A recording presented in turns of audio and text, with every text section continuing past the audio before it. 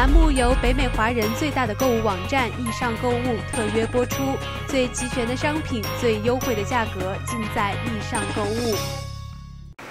大家好，欢迎收看《万维时讯》，我是主播 Cherry。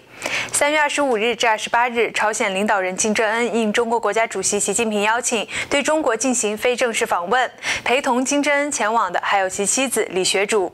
新华社的官方照片中所见，双方会见时，李学主穿着驼色套装、七分裙，还戴上胸针，搭上披肩长发；彭丽媛则穿上泼墨花纹的白色长履鞋巾，配上中国纽扣，颇具有中国特色。再穿黑色高跟鞋，将头发盘起，和李学主形成鲜明的对比。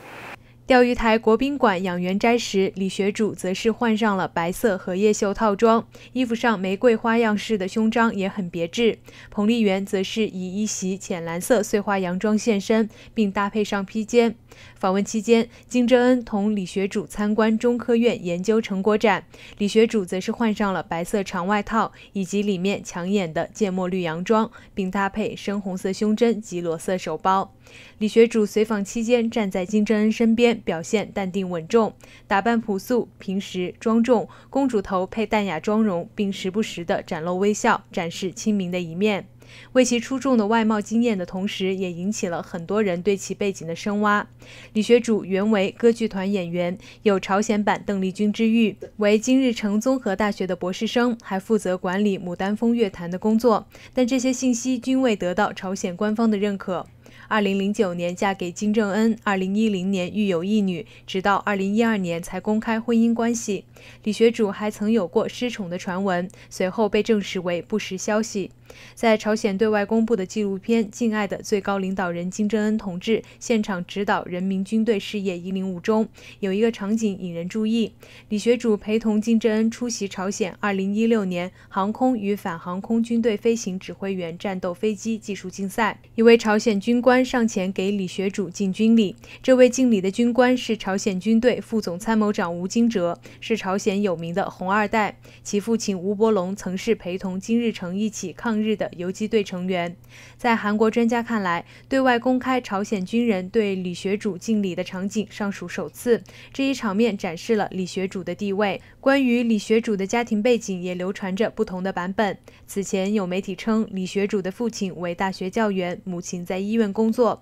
但2013年，韩国媒体爆出李学主的父亲是空军飞行员出身。当时，《东亚日报》曾称，在朝鲜，飞行员身份调查严格，需要调查亲。属关系至堂兄弟一层，飞行员虽属上流阶层，但很难触碰到实权的核心。且出于对飞行员投韩可能性的考虑，即使其家族成员有人犯罪，一般也只会轻罚。自2012年亮相后，李学主共陪同金正恩参加了65次公开活动，其中与军队相关的活动有三次都与空军有关。韩国情报官员分析称，据悉李学主的父亲是朝鲜预备役空军的将军，因此虽然之前李学主主要从事了有关文化和福利的活动，但是他对空军活动非常关心。李学主曾多次因为出现在公开报道中而被怀疑，遭到金正恩打入冷宫，甚至死亡。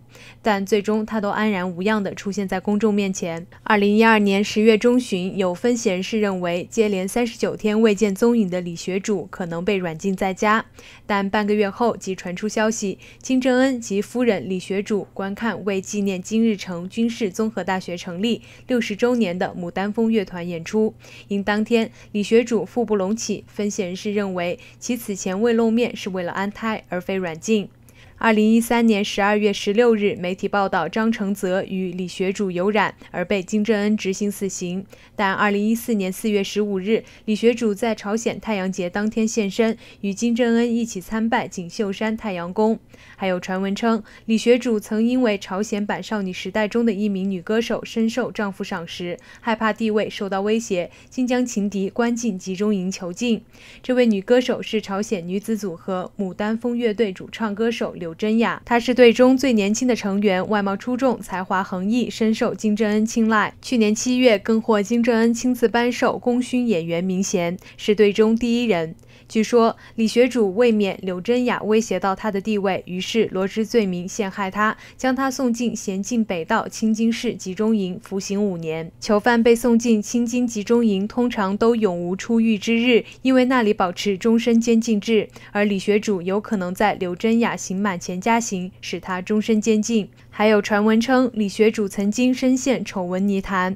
传闻李学主曾经所属的乐团银河水管弦乐团成员们性关系复杂，甚至还拍了色情录像。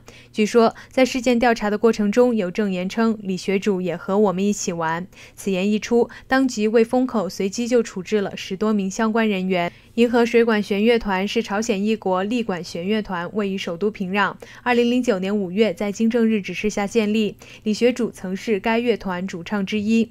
二零一二年三月十四日，乐团在法国巴黎演出，由韩国指挥家郑明勋担任指挥。二零一三年八月二十日，银河水管弦乐团团长文庆镇、副首席小提琴手郑善荣等，因违背金正恩在六月颁布严禁观看色情淫秽视频指示后，全部枪决。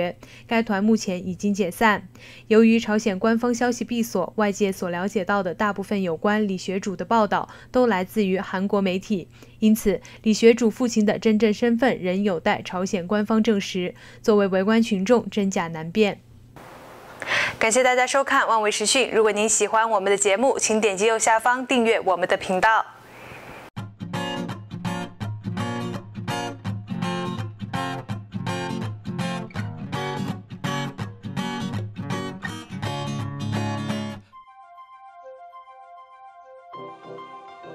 万维读者网，creaders.net，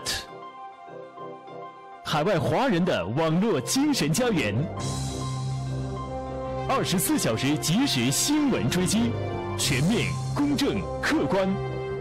只要有华人的地方，就会有万维读者网。